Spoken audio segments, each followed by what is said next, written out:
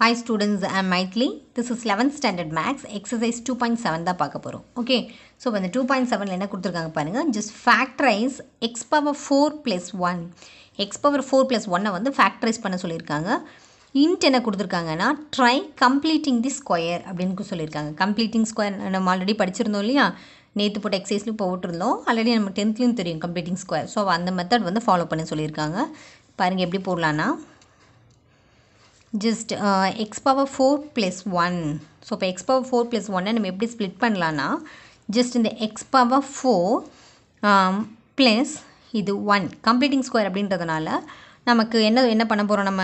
இங்கே X power ஃபோருக்குன்னா ஏதோ ஒரு நம்பரை நம்ம ஆட் பண்ணி சப்ராக்ட் பண்ணுவோம். ஓகே ஸோ அதை நம்ம எதாக வேணாலும் நம்ம எடுத்துக்கலாம்.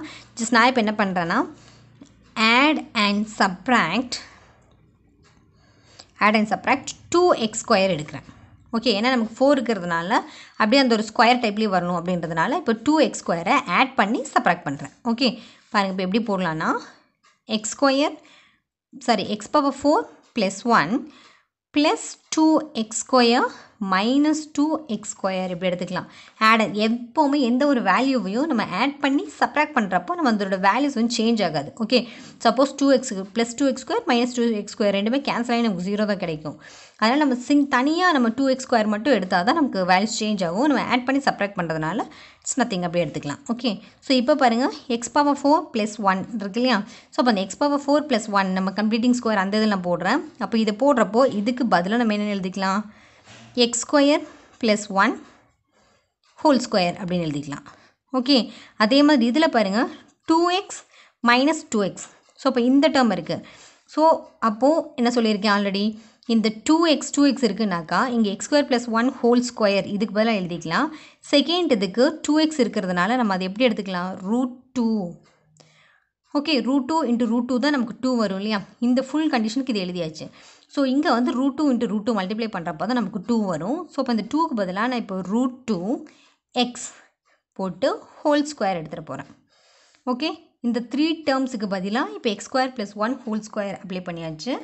இந்த டேர்முக்கு பதிலாக டூன்றதை root two into root two அப்படின்னு எழுதுறதுனால two times root two into root two போடுறதுனால ஸ்கொயர் போட்டிருக்கேன். ஹோல் ஸ்கொயர் அப்படின்னு எழுதியாச்சு. இப்போ பாருங்கள் நமக்கு அல்ஜிப்ரிக் ஃபார்மில் தெரியும். A square minus B square that is equal to A plus B into A minus B அந்த ஃபார்மில் இங்கே அப்ளை பண்ணிங்கனாக்கா என்ன வரும் நமக்கு? X square plus one A plus B plus root two x இது ஒரு ரூட்டாக இருக்கும். அதே மாதிரி x square plus one minus minus root two x sorry இங்கே டூ வரக்கூடாது. Okay just root two x மட்டும்தான். ஸோ இப்போ இது வந்து நமக்கு இன்னொரு ரூட்டாக இருக்கும். ஓகே ஓகே நெக்ஸ்ட் பாருங்கள் செகண்ட் சம் இந்த சம் முடிக்கிறதுக்கு முன்னாடி இப்படி எழுதிக்கோங்க finally x power four plus one equal to x square plus one plus root two x அப்புறம் x square plus one minus root two x இப்போ இந்த டூ ஃபேக்டர்ஸ் வந்து நமக்கு இதுக்கு இருக்குது ஓகே அப்புறம் செகண்ட் சம்மில் என்ன கொடுத்துருக்காங்கன்னு பாருங்கள் if x square plus x plus one is the factor of the polynomial three x cube plus eight x square plus eight x plus A then find the value of A அப்படின்னு கேட்டிருக்காங்க. Okay so இப்போ இந்த ஏவோட value வந்து என்ன வரும் அப்படின்றத நம்ம ஃபைண்ட் பண்ண சொல்லியிருக்காங்க. ஸோ இப்போ நம்ம என்ன பண்ணலாம்? ஓகே பாருங்க. இப்போ என்ன பண்ணிக்கலாம்னாக்கா so find the value of A ஏவோட வேல்யூ ஃபைண்ட் பண்ண சொல்லியிருக்காங்க. இதுக்கு சி இப்போ x cube plus eight x square plus eight x plus A so இப்போ இது வந்து நமக்கு ஒரு கியூபிக் ஈக்குவேஷன் ஸோ இப்போ இந்த கியூபிக் பாலினாமியலில் ஒரு ஃபேக்டர் வந்து கொடுத்துட்டாங்க. ஸோ இப்போ இந்த ஃபேக்டரை வச்சுட்டு இன்னொரு ஃபேக்டரை வந்து நம்ம என்னன்றதை ஃபைன் பண்ணி அதுலேருந்து ஏ வேல்யூ கண்டுபிடிப்பீங்க. ஓகே ஸோ இப்போ இதுக்கு வந்து நம்ம நம்ம எந்த மெத்தட் நமக்கு ஈஸியாக இருக்கோ அந்த மெத்தட் நம்ம வந்து ஃபாலோ பண்ணிக்கலாம். ஸோ இப்போ இதுக்கு வந்து நம்ம இப்போ நம்ம லாங் டிவிஷன் மெத்தட் ஆல்ரெடி படிச்சிருக்கோம். டென்த்லேயே படிச்சிருக்கோம் நம்ம. அந்த மெத்தட் யூஸ் பண்ணிக்கோங்க. அது உங்களுக்கு கொஞ்சம் ஈஸியாக இருக்கும். ஸோ இப்போ லாங் டிவிஷன் மெத்தடில் போட்டிங்கன்னா ஜஸ்ட் இங்கே three x cube plus eight x square plus eight x plus A எப்படி இருக்குது ஓகே ஸோ அவுட் சைடில் என்ன இருக்குது நமக்கு? X square plus x plus one அப்படின்ருக்கு okay so first ஒவ்வொன்றா நம்ம எலிமினேட் பண்ணிட்டு வரணும் இல்லையா? ஸோ இப்போ எலிமினேட் பண்ணுறப்போ ஃபஸ்ட்டு டேர்ம் எதால் மல்டிப்ளை பண்ணுவீங்க?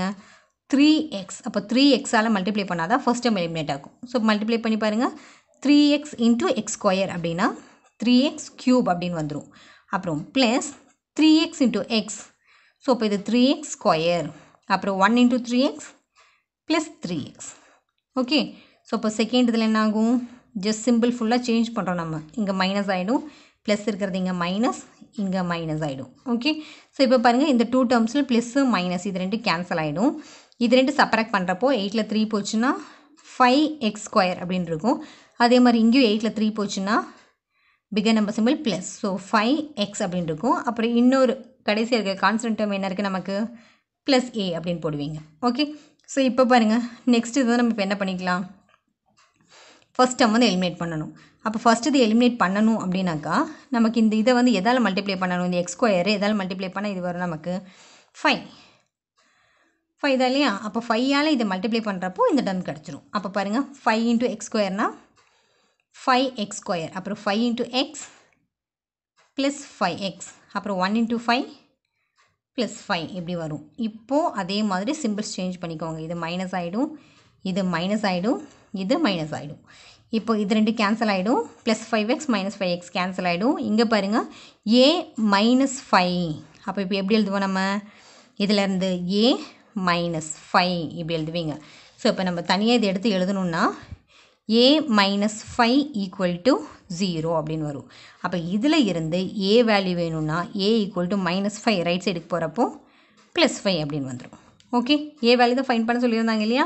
So A equal to plus five this the answer இதில் உங்களுக்கு எதாவது டவுட் இருக்குன்னா கமெண்ட் பாக்ஸில் எழுதுங்க. என்னோடய வீடியோஸ் உங்களுக்கு பிடிச்சிருந்ததுன்னா சப்ஸ்கிரைப் பண்ணுங்கள் லைக் பண்ணுங்கள் ஷேர் பண்ணுங்கள் தேங்க்யூ